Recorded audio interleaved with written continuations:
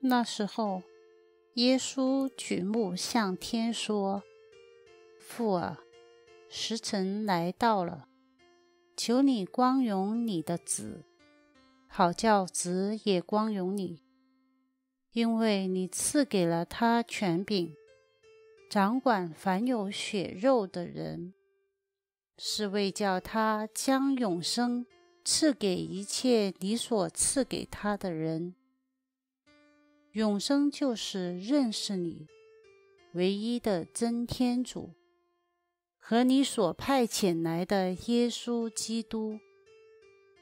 我在地上已光荣了你，完成了你所委托我做的工作。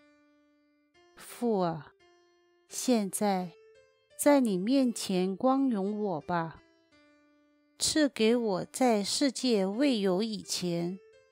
我在你前所有的光荣吧，我将你的名已显示给那些你由世界中所赐给我的人，他们原属于你，你把他们托给了我，他们也遵守你的话。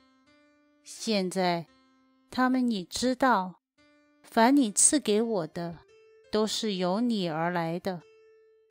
因为你所授给我的话，我都传给了他们，他们也接受了，也确实知道我是出于你，并且相信是你派遣了我。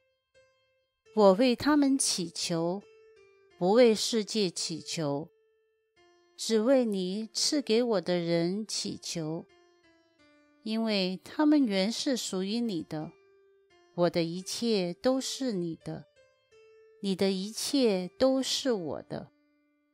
我因他们已受了光荣。